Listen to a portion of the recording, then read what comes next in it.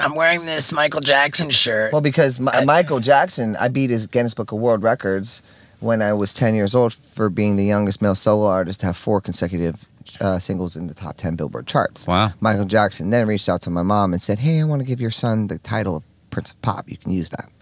My mom wrote a book called Prince of Pop, and then I did a, a song with Michael Jackson. He picked a handful of people Luther Vandross, Celine Dion, Beyonce, uh, Justin Timberlake, and me. and we did a song called What More Can I Give? And then I opened up with him in Madison Square Garden on September 9th and September 10th of 2001. And we all left the morning of September, September 11th, and I saw the plane hit the building. Like you're in a plane No, flying. no, no. I was in a limousine. I was I was supposed to go on tour, and Michael invited us to go to an amusement park after the show. So I was in a limousine going to a private airport, and I was across the Hudson, and I was just standing there like thinking, "Oh, I remember this from like Home Alone," you know. And I was just thinking, you know, whatever. And, and then all of a sudden, I see the plane hit, and about four seconds later, I hear it, and it was just it was crazy. And then so I I, I saw Michael at the concert, and I go, "Hey, I'm gonna get that jacket from you." Like, He had that sparkly jacket on. The red one? Or No, the- no, the one that's made out of all Swarovski crystal that's worth like thirty-five million dollars. Now, um, there's only That's two. the right one to ask for. Uh, and I was like, I'm, I was like, I'm gonna get. I was like, I was like, I'm gonna get that fucking thing from you. He kind of look, giggled it off a little bit. Then I went to his birthday party, and you know, his 47th birthday party, and I, I literally just grabbed the cake and I smashed it in his face. I didn't care. I was like, But- I'm gonna but- treat you like a human being. You know what I mean? Did you get the the jacket? Later that night, me, my brother, Rodney Jerkins, Michael, and Raffle, the executor of his estates, and we're all sitting down in his living room. And Raffles look, leans over to Michael and goes, Hey, don't you have something for Aaron? Comes out, gives me the jacket. Nick gets so pissed off, he gets up immediately and leaves. Wow. Damn. Michael And wait, was- this is 'Cause now- on 9 11? You, you were on No, your way. no, Oh, no, you're on your way to the airport. was This is after that. after 9 11. Okay, yeah, yeah. Yeah, this was just a, a matter of like three or four different incidents uh, uh, Yeah. were, where we were Right. together doing I see, I see. Um, what was your take on uh on, on like all the the Michael Jackson documentary? Leaving that- Neverland? Yeah, yeah. That, was that the Bullshit. Bullshit, man. Wade Robson, bro. Come on, dude. I like mean, I'm sorry, but I was there. I spent plenty of nights with Michael. I didn't see anything remotely close to that. But you, I saw you- nothing but respect and gen- and and and generosity. What you was want it a- you like want an exclusive? Sure. When I left Le- Neverland, I came back because we used to live next door to Michael Hmm. in Santa Ynez. We had a ranch out there, but not at this time. I leave, get in the limo after his birthday party, ride his dirt bike around. I smoked weed with Michael. Um, Wow. Did, did he smoke a lot of weed? Is there I footage don't know of Michael smoked a lot Jackson of weed, smoking smoked weed, weed? yeah. I've never Yeah, heard of. Michael smoking weed, actually. That's Michael Jackson smoked Surprising. weed, and I smoked weed with him. Nice, a good one. dude. So and then so I get but here's the craziest part about all this. I get back to the Universal Sheraton, right? And my parents had four FBI agents and detectives there to talk to me. And they're like, Did Michael do anything? Did he do anything?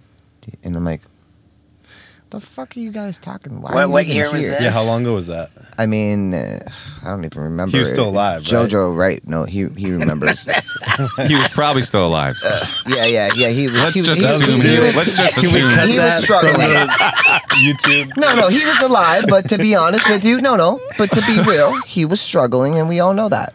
Sure. We, it's, it's, it's, it's, it's not, you know, Sure. new. It's not new news. Well, how old are you at that time? Um, Like 13 or like 18? uh, I was 16, 16. 15, 15. And you went, you slept over at his Yeah, I place? stayed like at you his pal- place multiple times. yeah. Yeah, yeah. Are there other kids there at the time? So it's just you, you just hanging all day, stay the night. Yeah, I mean, I think it got to a point where, because I literally, you know, I'm pretty candid. I'll ask anybody anything. I don't give a shit, man. Sure. Like, whatever. I I literally asked my sister, what's up with all this, like, little kid stuff going on with you? You know, like, why do they do that to you? He's like, he's like, I don't know, but I, all I try to do is, is reinstill myself into new generations so that I keep myself current. And I also never really had a childhood.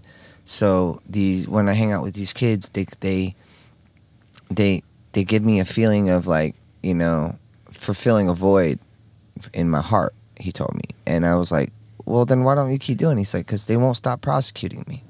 Hmm. They won't stop. All these mothers, and that's what I'm trying to tell you is when I left, my parents had FBI agents and detectives there to try to sue Michael.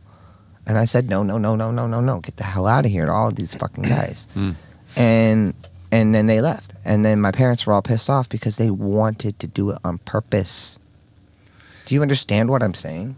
Sure, they wanted I- to. I, I don't find that too. like your parents were interested in suing So, Michael. so they wanted to sue him. They wanted to sue him because They wanted to make that, up a lie because of what was going on with all the and, and they prosecutions. thought that there would be like A- a, a lot of money money. grab. Yeah. yeah. it's So- a money grab. What do you do with Michael when you're just kicking it with him? Are you guys like smoking a joint? Yeah, Or, like, like, what's with his we Nintendo? stoner were- talk? We went me me Michael and Chris Tucker went riding around on four wheelers in the mountains for like three or four hours.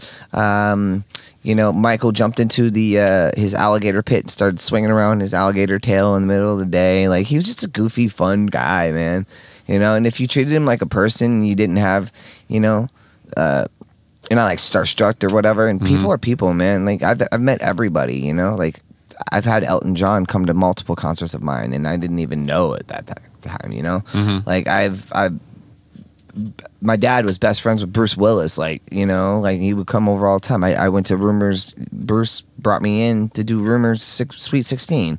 You know, um, it's just I I just I've, I've met so many people that in, along the way, you know, that it's just you know it is what it. I mean, I I, I dated Mel B from Spice Girls for you know a few Wow. months. oh, I You know never what knew that. And we used to tour together when I was nine and she was twenty. My my girl loves the Spice Girls. Yeah, dude. Yeah, dude. Thanks for watching that clip. And if you live in America, there's a good chance that this big badass tour bus is coming to your town with my bucket list tour. What is it?